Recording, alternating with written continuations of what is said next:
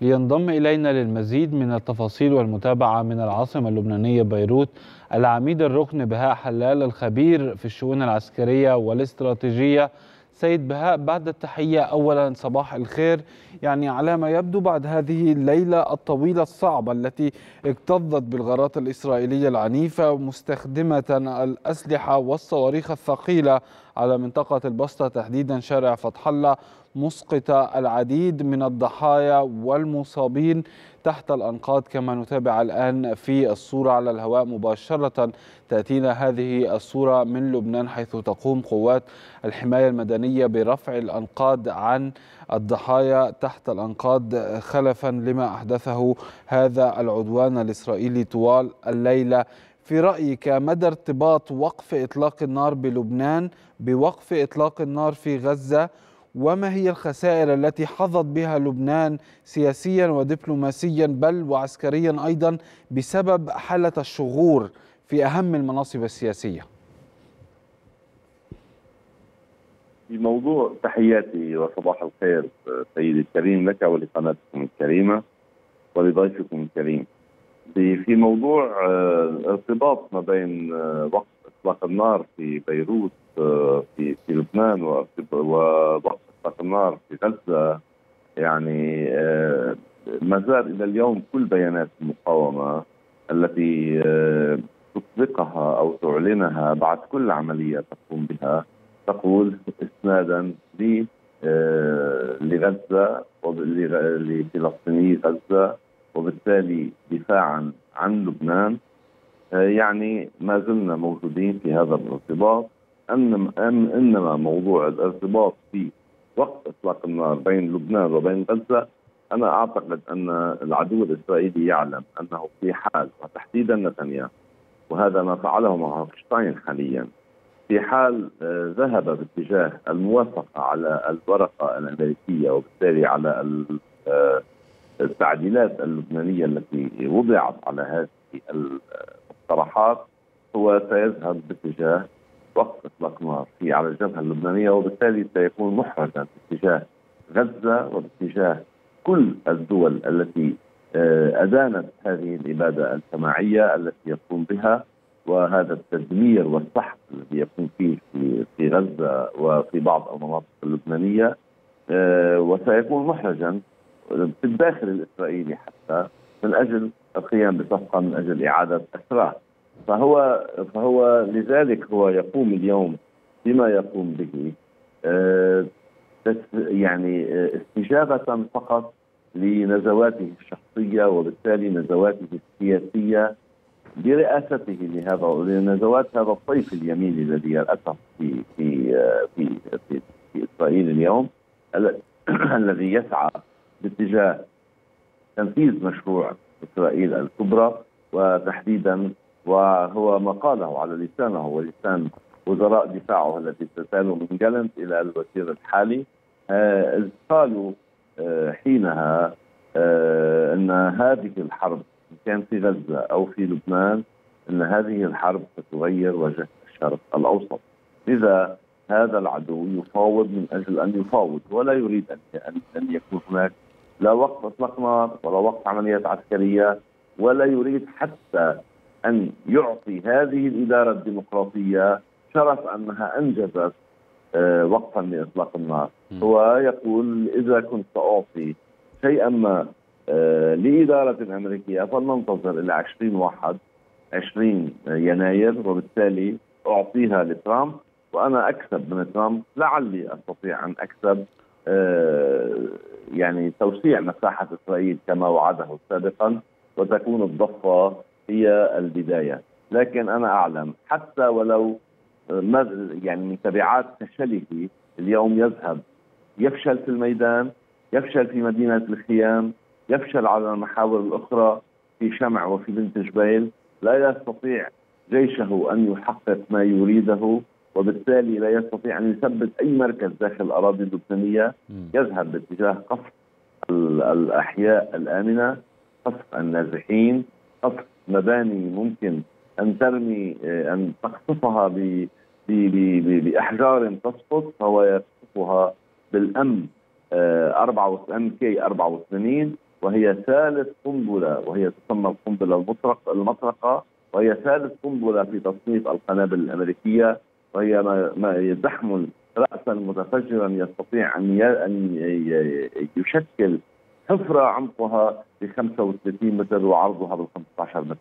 أنا أعتقد أن العدو الإسرائيلي في هذا الموضوع هو لا يريد أصلا لا وقت إطلاق نار في لبنان ولا وقت إطلاق نار في في في غزة. اذا ماذا يريد؟ يعني ماذا يريد نتنياهو قبل الوصول إلى تسوية، قبل الوصول ترامب إلى سدة الحكم في آه العشرين من يناير، ماذا يريد آه نتنياهو في الوقت الحالي؟ البارحة البارحة العدو الإسرائيلي أدخل عالما جيولوجيا وهو رائد احتياط في الجيش الإسرائيلي إلى قرية لم يستطع أن يسيطر عليها. هو وصل إلى أطرافها فحاول جعله يتسلل هو وبعض العسكريين باتجاه أحد المقامات الدينية التي تقدسها الديانة الإسلامية والديانة المسيحية مدعيا أن هذا المقام هو مقام يهودي بالأصل ويريد أن يزرع ذاك الحلم في قرية شمع في في لبنان. وقد عجلته المقاومة بردها الصارم والقادر وأسقطت هذا العالم الجيولوجي قتيلا. وحمل يعني دخل واقفا وعاد إلى إسرائيل افقيا. دخل عموديا وأعاد افقيا. يعني هذا دليل على أن العدو الإسرائيلي يسعى باتجاه تنفيذ يعني ما ما يدعيه في سفر في سفر التكوين. هو هو هو يذهب باتجاه يقول أن الضفة هي قلب إسرائيل. يقول أن دولة إسرائيل لا يمكن أن تكون هي دولة إسرائيل الكبرى بدون يهوذا والسامرة.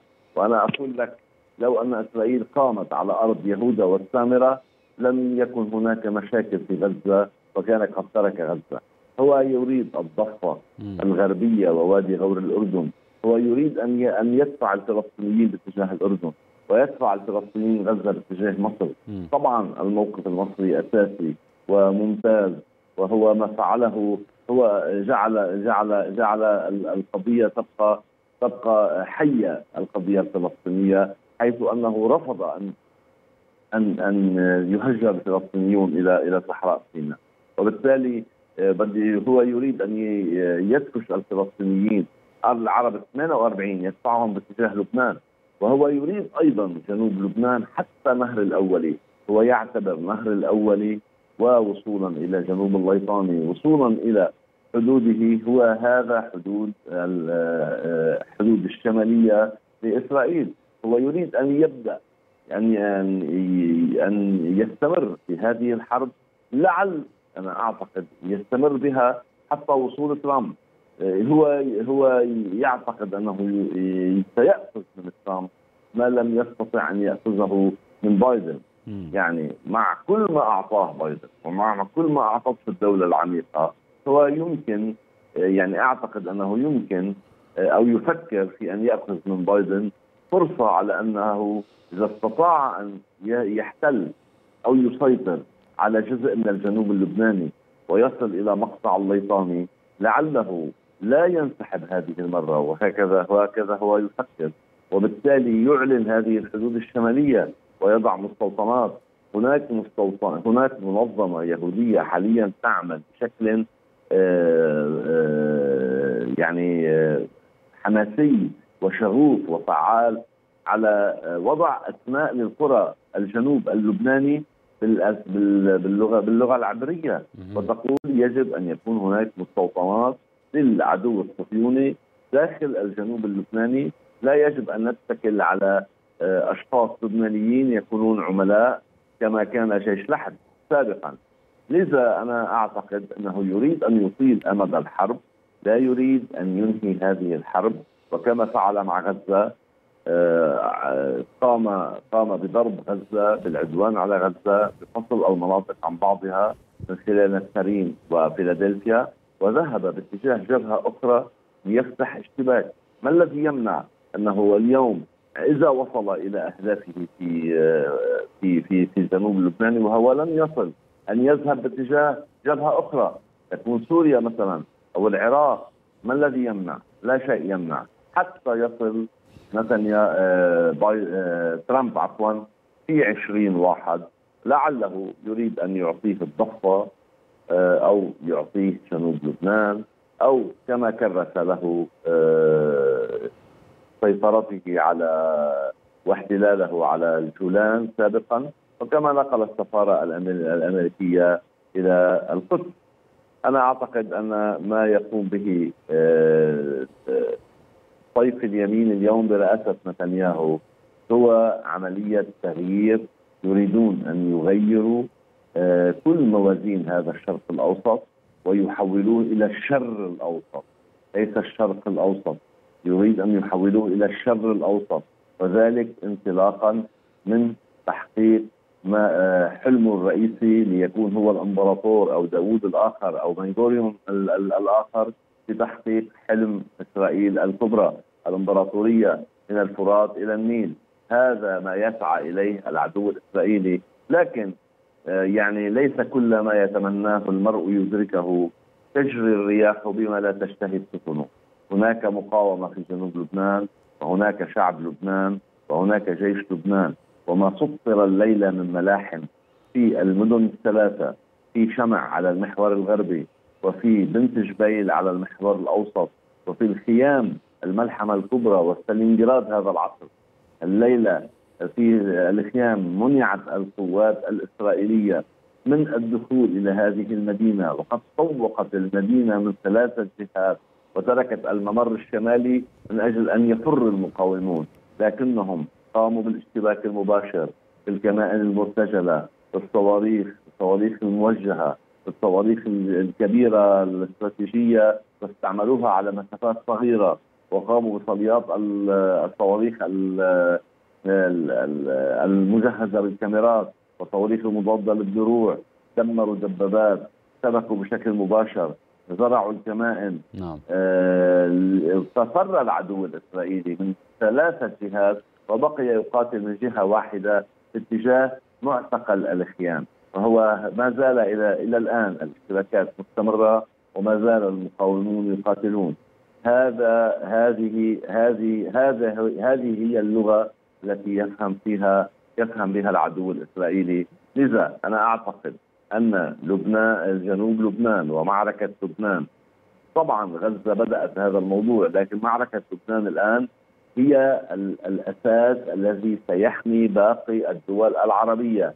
أنا أعتقد أن نتنياهو ينظر إلى نفسه اليوم أنه إمبراطور العصر وهو يريد أن يذهب باتجاه آه، أكثر وأكثر وأكثر خاصة مع آه، يعني آه، ترامب ومع وزرائه الذي انتقاهم واختارهم وهم وهم يمينيون أكثر وصهيونيون أكثر من نتنياهو.